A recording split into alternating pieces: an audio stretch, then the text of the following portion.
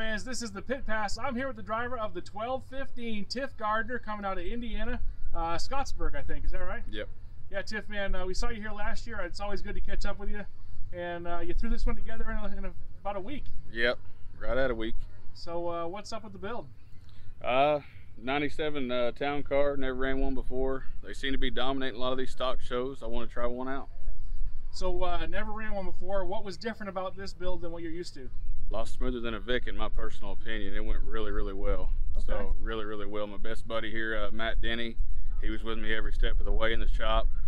Like I said, we had her had her put together in about six good days. So, yesterday we finished a few things up before we come up and got here uh, late last night.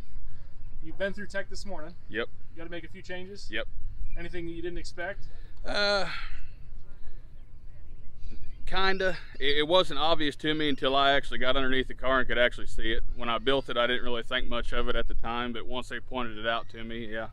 But you know, I thought it was pretty fair. So everybody seems to be making the same changes around here. No favoritism, and that's what I like the most about Toe shows. You know, he has he has his buddies, but everybody gets treated the same.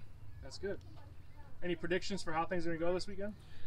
Uh, this is a stacked drivers list here tonight. Uh, here in a little bit when we have our drivers meeting, the heat draws, that's that's critical. That's really, really critical. I mean, there's going to be guys trying to work together, but I mean, it's all luck of the draw.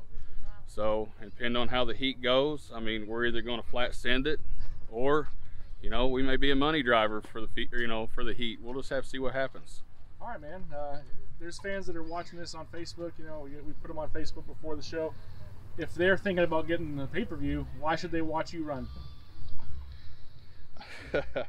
uh, we, we've been known just, I mean, just to flat send it. I mean, we can make junk in as little as two minutes. So, I mean, we'll just we'll just see what happens. I mean, we don't know how we're going to do yet.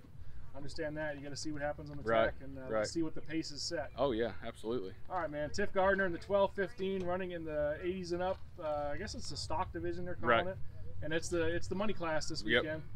Fans, you don't want to miss it here at River City Rampage. Tiff, thanks, man. Good luck. Yep. Thank you.